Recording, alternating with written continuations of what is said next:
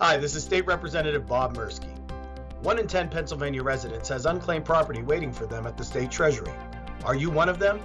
This February 13th through 15th, we are hosting an unclaimed property search at all of our satellite office locations. On Monday, February 13th, stop by the Green Township Municipal Building from 9 a.m. until 1 p.m. On Tuesday, February 14th, come to the Harbor Creek Municipal Building from 9 a.m. until 1 p.m. and we can help you search for your state treasury database on Wednesday, February 15th at the Summit Township Municipal Building from noon until 4 p.m. If these times don't work for you, our main office is always available at 3901 Liberty Street, Monday through Friday from 8:30 a.m. until 4:30 p.m.